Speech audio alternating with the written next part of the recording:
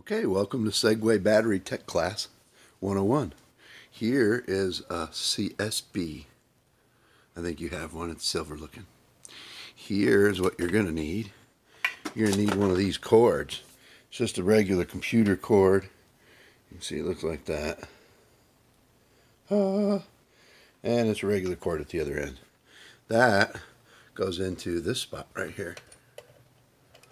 Like so. These cables that come off have uh, these little battery things and they only go in one direction just like that. Now when the thing's operating properly it'll have a couple of lights here.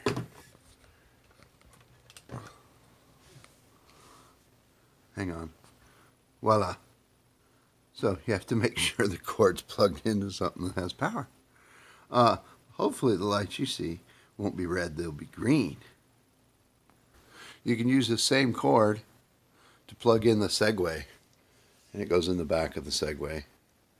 It'll have a little a little port like this but on the back.